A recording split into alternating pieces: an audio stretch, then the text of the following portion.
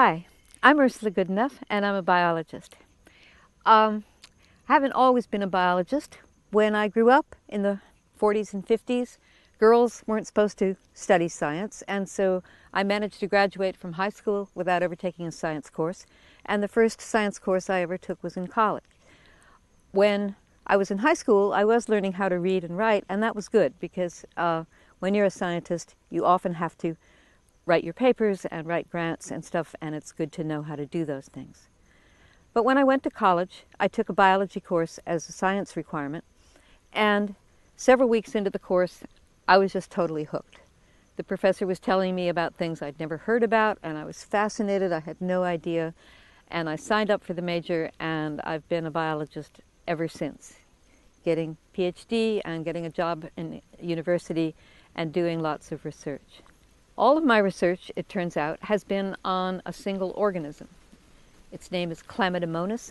It is a green, single-celled eukaryotic soil alga, and I've asked it lots of questions during my career. I've asked how it does its sexual cycle. I've figured out things about how it swims, how it makes its walls, what its genetics are like, what its genes are like, and that's been really fun.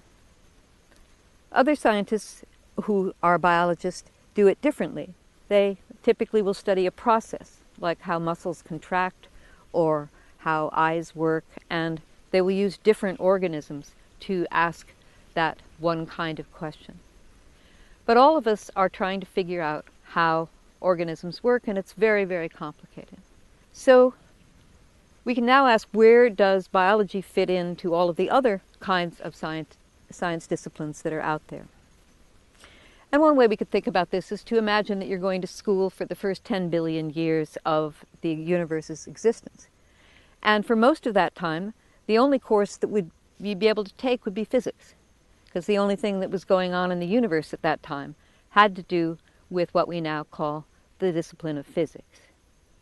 Once you got the solar system and the Earth, then chemistry started really taking off with different kinds of elements that have been made in the stars, fitting together and making rocks and making all of the inorganic parts of the planet.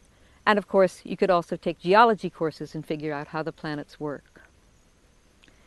When life showed up on the planet about three and a half billion years or so ago, then a whole new set of courses would be offered on all of the organisms as they evolved, as they um, diversified and started interacting with each other in ecosystems, and that is the biology part, and you'd have plenty of courses to take.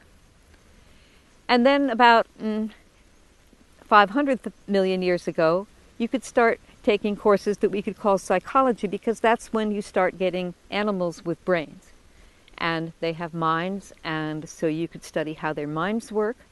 And as these animals got together in social systems, you could start studying their sociology and you could start thinking about how they use their minds to relate to one another. And then finally, as the hominid line came in, you could start taking anthropology courses and then eventually humanities courses, history and um, the arts and literature and so on. So biology is kind of right there in the middle, uh, preceded by the physical sciences and um, followed by the social sciences and humanities. So the last thing we could consider is if you're going to be a biologist, what in the next 50 years or so are sort of the most exciting hot questions? Well, there are lots of them, but I'll lift up two. One of the things that is really exciting to me, and I try to follow it, is how brains work, and particularly how humans brain, human brains work. How do we do language? How do we remember uh, what we hear? How do we learn? All of these things are, at the bio biological level, still very, very poorly understood and lots of exciting questions to ask. And then the other would be medicine, which is where lots of people who are biologists are engaged in trying to find out what can, they can do to help people who are suffering from various diseases. So some diseases come from pathogens, from viruses and from other organisms, and so studying those processes are very important for figuring out how diseases uh, mature. And the other would be diseases like cancer that represent misfunctions of our own bodies. And there's still huge questions on how to detect and how to treat and how to hopefully cure cancers. So if no matter what you do, if you decide to study biology in the future, you're going to have a great time.